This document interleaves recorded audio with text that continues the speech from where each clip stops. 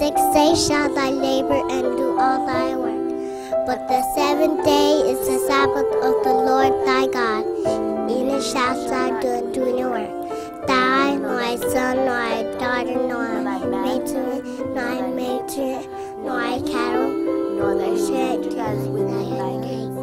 For six days the Lord made heaven and earth,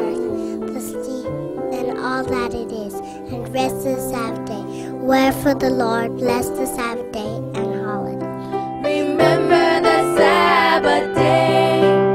Remember the Sabbath day to keep it holy. Six days shalt thy labor